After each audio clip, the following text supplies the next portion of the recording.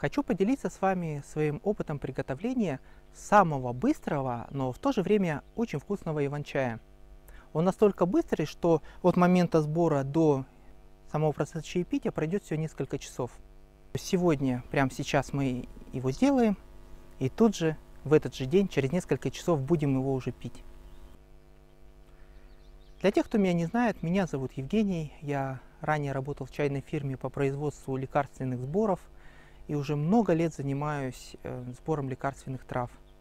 И мне хочется, чтобы люди пили действительно очень вкусный иван-чай. Потому что, к сожалению, посмотрев а, много разных видео по приготовлению иван-чая, заметил, что некоторые допускают серьезные ошибки, из-за чего или иван-чай получается невкусный, или это трудно назвать вообще иван-чаем. Вообще, в приготовлении иван-чая есть таких пять э, главных принципов.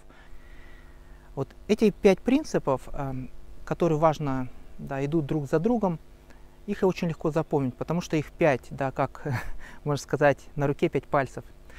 Вначале мы заготавливаем, собираем иван-чай, а далее идет вялка, третье подготовка к ферментации или назвать его можно скрутка листа, Четвертое – сама ферментация. И последнее – это остановка ферментации, например, с помощью сушки. Вот эти пять принципов. Иногда, конечно, что-то можно упустить, а, но что-то вообще нельзя упускать. Ну, я сейчас рассмотрю, что именно, да. А первое – заготовка, да, сбор листа. Я специально, то есть подождал того момента, когда начнут появляться цветы. Только-только. То есть иван-чай это одна из таких культур, которую можно собирать как э, в начале, и да, как все травы желательно собирать лист а, до цветения. Ну, иван-чай, так же как и лобазник, таволга, да, многие другие травы, а, много есть таких трав, которые можно собирать вместе с цветами да, во время цветения. Но, а, конечно же, до образования стручков, да, которые потом, из которых вылазят потом семена. Когда собирать вообще иван-чай, в какое время? Вообще начинать его можно, когда он еще маленький, когда у него еще нету цветов. То есть тогда уже можно начинать, тогда лист мягкий, тогда может вот этот э, процесс второй, да, вялка листа, может и не пригодиться. Если вы делаете для себя, э, если для вас не важна красивая скрутка листа, ну, в таком случае подойдет. Или если вы хотите собрать элитный, э, самые лучшие листочки. Да, вот эти сейчас покажу, поближе лучше показать. Не секрет, что самые лучшие листочки это верхние, и обычно если их а, отрывать, да, получается такая, как бы, знаете, розочка напоминающая. Но а, если мы отрываем верхнюю часть, вот я сейчас уберу, вот эту, да, ферментируем ее, и потом мы ее добавляем, скажем, в кружечку, да, он так красиво распускается, и вот такая вот как розочка будет в стакане, очень красиво смотреться. Но в таком случае надо оставлять обязательно эти листья для того, чтобы из верхушечки вылезли стебли, да, которые тоже дадут цветы. И потом, конечно же, семена. Но что может еще произойти, это мы, а, когда те люди, кто не разбирается в сборе иван-чая до цветения, именно в то время, когда лучше всего собирать его, могут спутать его, например, с тем же осотом. Да, вот осот растет. Для тех, кто не разбирается, могут собрать осот. Но если к нему прикоснуться, он всегда колючий. Иван-чай же нет. Пока иван-чай молодой, пока нету цветочков, мы можем его собирать прям а, без вялки. Да, берем вот этим между большим и указательным пальцем за стебель, берем другой рукой и вот так проводим. Раз. Листья оказывается здесь. Немного сминаем его, потому что листья мягкие, тут даже вялки не потребуется сминаем, пока он не становится мягко, мягкий. И в баночку. Но когда лист становится погрубее, тогда, конечно же, потребуется вялка. Но вот что можно сделать. Потребуется, например, покрывало или что-то подобное. Бросаем на землю покрывало, можно сказать, чтобы убить двух зайцев, сделать одновременно и сбор, и вялку. И тут же сразу да, собираем и кидаем. Для того, чтобы пока мы собираем, наш иван-чай вялился. То есть пока мы э, соберем иван-чай, да, тот, который нужен на зиму нам, он за это время повялится, и мы сократим время, да, которое потребуется на приготовление иван-чая. Вообще вялка нужна для того, чтобы лист не ломался. Ну, например, вот если взять лист, который уже, можно сказать, более такой огрубевший, чем молоденькие листы, которые я сейчас срывал, то вот в этом месте он часто переламывается, если не вялит. Не вялить, вот видите, переломался. То есть если просто так закручивать, он будет просто ломаться. Вот смотрите. Вот раз. И тогда не получится красивой скрутки, если мы используем, например, а, скручивание с помощью роллера или с помощью доски для скручивания. Тогда вот такой вот красивой скрутки не будет. И именно для этого и нужна вялка листа. Но еще один из очень важных моментов про вялку листа. Смотрите, чтобы лист, листы не подсыхали. То есть их надо время от времени переворачивать. Начинают подсыхать чуть-чуть с одной стороны, чуть-чуть переворачиваем. И нужно следить, чтобы не подсох. Иначе вот этот лист, который подсохнет, он не, э, он не будет ферментироваться. Он будет подсушенный, и э, он не будет ферментированный. Обычно он раскрашивается, такой лист. Следующее после вялки идет подготовка к ферментации. Обычно, а, чтобы подготовить к ферментации, нужно сломать клеточную структуру листа. Это можно сделать по-разному. Можно сделать э, как скручивание, красивое закручивание листа с помощью роллера или доски, а, или специальной ручной скрутки, так и, например, можно просто поломать лист, помять его берем в руки, да, сминаем, так сминаем. Или если а мы домой принесли, то можно на столе это сделать в большом количестве, да, взять и помять. И таким образом мы сломаем структуру листа. То есть главное сломать структуру а для того, чтобы была ферментация. Если некоторые говорят, там кидают в пакеты, вот берут пакеты, да. Кстати, пакет очень удобно собирать на самом деле. Я обычно так и пользуюсь. Вешаю одну ручку пакета и далее раз, раз, раз, сразу сюда кидаю. То есть это очень удобно. Но а, вот нельзя, знаете, что делать? Нельзя долго хранить. Было так, как-то я пошел надолго, на много времени, собирал иван-чай в лес пошел, да, и только вечером пришел, утром ушел, вечером пришел. И было очень жарко. Листья некоторые, вот в вот эти такие вот, да, они не вялились, как здесь сейчас. Они были плотно в пакете, и там стала вот эта трава, вот этот иван-чай преть. И иван-чай вот этот, он был запахом прелости. Поэтому пришлось просто выкинуть вот эту часть, где спрело. Сейчас лик, к сожалению, он еще не хватило времени для того, чтобы он завялился. Но когда лист а, вялый, он легко закручивается. Можно брать несколько листьев, можно по одному даже, но это долго. Один из способов скручивания такие трубочки. Берем листья, складываем пополам и закручиваем в одну сторону. Нажимаем и закручиваем. А минус этого способа в том, что сильно устают руки, как писали многие люди э, в других моих видео под коммент... Э, в комментариях. Но благо... плюсы в том, что благодаря такому способу получается, что лист очень плотно скручивается, поэтому а, благодаря такой ферментации происходит очень такой насыщенный вкус у иван-чая. Он получается очень вкусным. Чем плотнее мы утрамбовали в банку, тем более такой терпкий, насыщенный вкус будет у иван-чая. Кислорода получается меньше, ферментация происходит лучше и так далее. А делаем это до тех пор, пока листья не станут мягкими. Опять же, цель поломать клеточную структуру, чтобы лист стал мягким. И, и тогда мы можем, что, желательно все листья. И тогда мы кидаем а, в емкость, например, я это делаю в банку. И так плотно, плотно, плотно утрамбовываем. Но смотрите, есть такая опасность, а, которую, к сожалению, некоторые допустили, а, не зная вообще самого этого процесса, думая для облегчения всего процесса. На самом деле они ухудшили так Иван-чай, да, ухудшили качество. А как я уже говорил, как, например, когда мы собираем пакет, да, важно, чтобы он не спрел.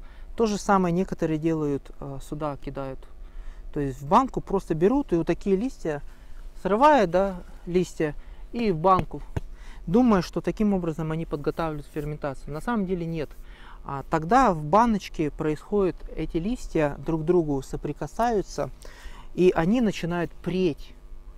Это не ферментация, это преет лист. Это очень плохо. Потом все это придется просто выкинуть на самом деле. Ферментация будет, если только при условии, если сломана клеточная структура листа, только тогда. А, как я показал, это можно сделать даже просто помять лист. Можно помять, можно взять доску для скручивания, она скручивается, также лист сломается. Вот, только тогда будет ферментация. А если вот так накидать листья, вот такие сюда, ничего не мять, то тогда вы просто испортите, э, просто испортите иван-чай. Это очень важный момент. Также заморозка – это тоже не подготовка к ферментации. И вообще это не ферментация. Это заморозка, это совсем другой процесс. Она замораживает да, листья. Оно, а, при ферментации нужны, нужна плюсовая температура. Нельзя замораживать листья. Это совсем другое. То есть нужно сломать именно листья, помять их. Вот тогда мы можем ферментировать. И тогда получится вкусный чай. Про гранулированный я не хочу говорить, а по качеству он хуже, я делал тоже гранулированный. А, вот. Но можно сделать тоже вкусный гранулированный иван-чай, если следовать вот этим а, советам. А тот же самый принцип такой же, просто гранулированный. Но мне больше просто листовой нравится, поэтому я а, чаще всего про него говорю, про него рассказываю. Потому что по качеству он все-таки лучше, если сделан правильно. Так, далее, а, после того, как мы подготовили к ферментации, а, следующее идет у нас ферментация. Да. Ферментация может быть, знаете, по времени разная. А, Все зависит от температуры. Если температура больше, ферментация меньше по времени. И опять же, какую вы хотите сделать ферментацию. Сейчас, которую я делаю, для нее вообще надо всего лишь пару часов. В основном, если температура где-то от 20 до 30 градусов. То есть совсем немного. Обычно я определяю, начинает э, вкусный такой цветочный аромат. Все готово. А, именно для моего рецепта, вот этого быстрого. А если я делаю другой рецепт, например, э, э, мне тоже нравится, знаете, по времени где-то примерно температура 25 градусов в среднем, а время где-то занимает в среднем 10 часов. То, тоже очень вкусный, приятный аромат получается. И в этом я бы вам, знаете, что посоветовал? Э, сделать вот как. Попробуйте разные варианты, если вы только начинаете этим заниматься, и проверьте, какой вам больше всего вкус нравится.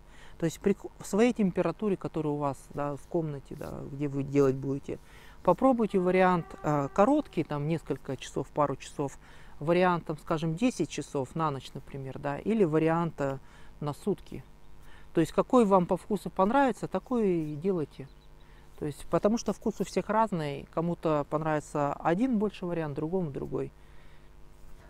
А, про ферментацию хотел еще сказать вот что. Если а, мы листья оставляем на кислороде, не закрывая крышкой, а с открытой крышкой или может быть тканью накрываем, то в таком случае происходит э, не ферментация, ну то есть будет и ферментация, но еще будет и окисление. То есть если вот так вот в баночке оставить с открытым, то а, происходит частичная ферментация, частичное окисление. Чем больше по времени а, будет без крышки находиться банка, тем а, более кислым будет чай. И может получиться так, что у вас вообще будет кислятина одна, а никакой не ферментированный чай. Это можно делать только в том случае с открытой крышкой на короткое время, только тем, кто хочет добиться своего вкуса э, иван-чая с небольшой кислинкой, с маленькой, совсем чуть-чуть.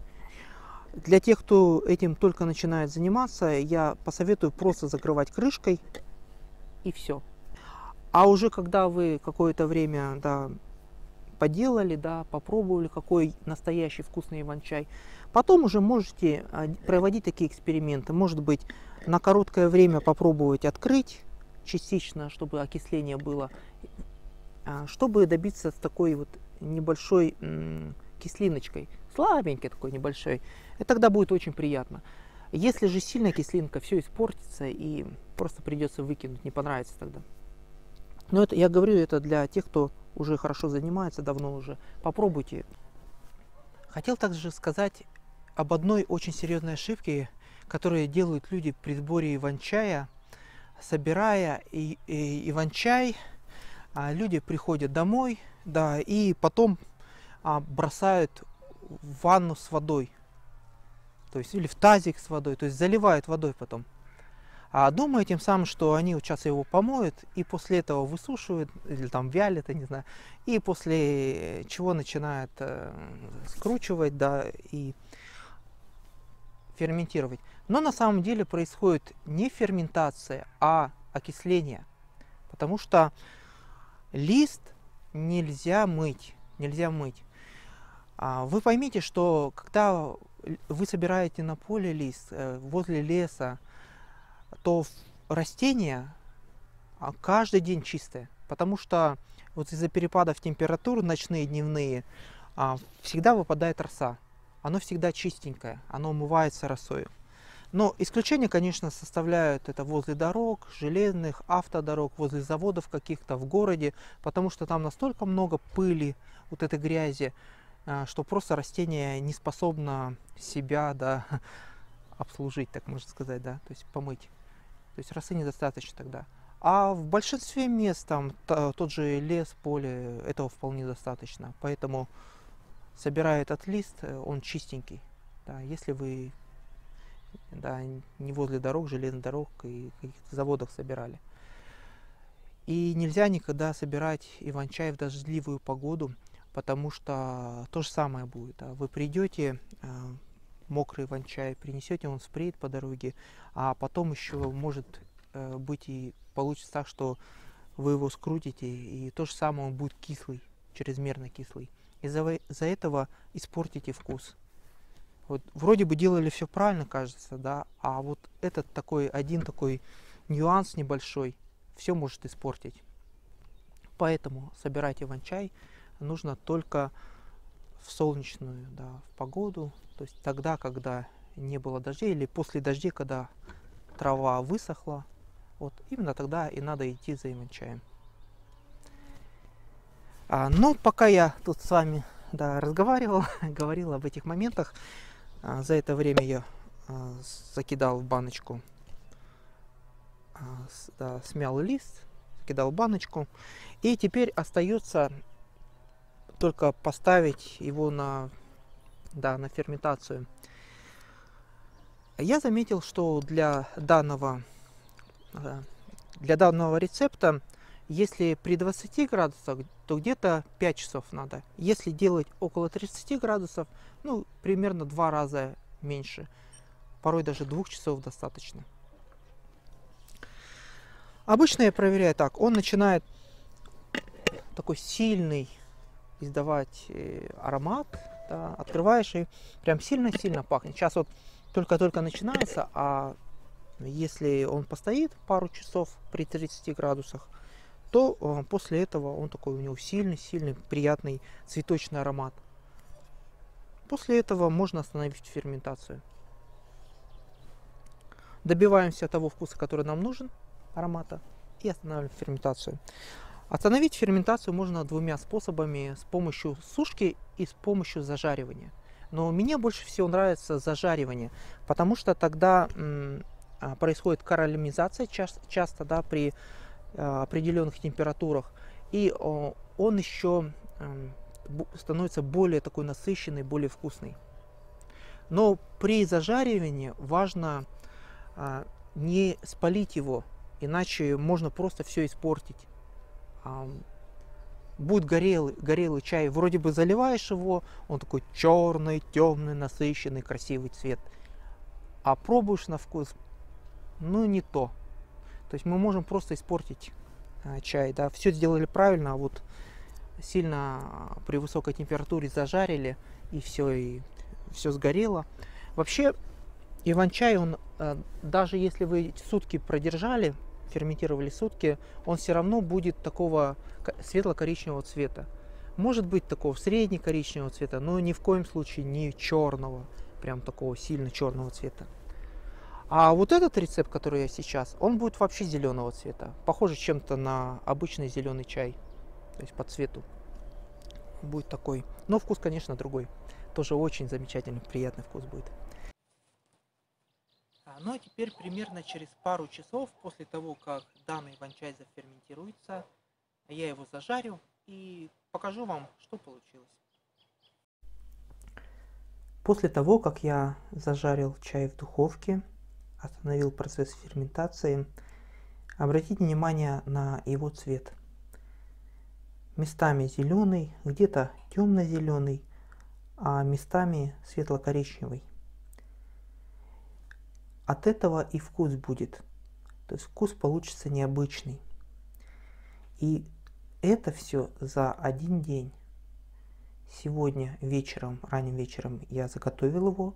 И сейчас на ночь могу да, попить вот такой вот а, вкусный иван-чай.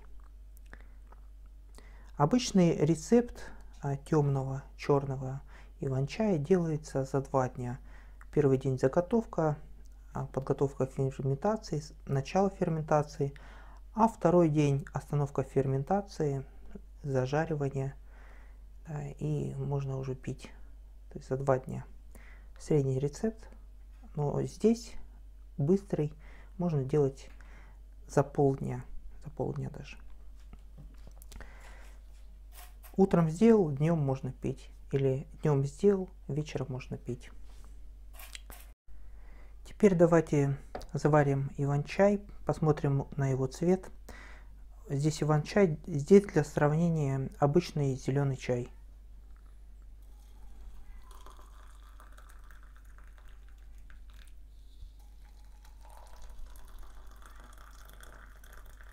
Оставлю короткое время, чтобы он заварился После того, как иван-чай заварился я убрал листья, обратите внимание на цвет. Это зеленый, а это иван-чай. Да, сильно похожи по цвету. Также они очень сильно похожи по вкусу. Вот этот рецепт иван-чая больше похож на зеленый чай, чем на черный. А вот рецепт э, иван-чая, который делается с большей ферментацией, а там как раз более на черный похож по вкусу. Тот более такой терпкий, и тот лучше пить с сахаром. А этот же, эм, ну, лично мне нравится больше без сахара. И вот у него какая-то есть зависимость. Хочется его все пить, пить и пить. Причем даже холодный. Я его часто пью вечером, потому что из-за зеленого чая, да, в котором есть кофеин, ну, плохо спишь, плохо засыпаешь. Иван-чай, он наоборот, э, в нем нету кофеина, его можно пить также вечером, на ночь и крепко спать. А, но вам я желаю сделать хороший и вкусный иван-чай. Рекомендую посмотреть также и другие видео на моем канале, например, борщ из борщевика, салат из мокрицы или уха из лопуха. Ну и много других видео. Много тем про Иван-чай есть и так далее. Поэтому спасибо вам за подписку, за то, что смотрите видео, за то, что делитесь с друзьями моими видео. А вам я желаю всего самого хорошего. До скорой встречи.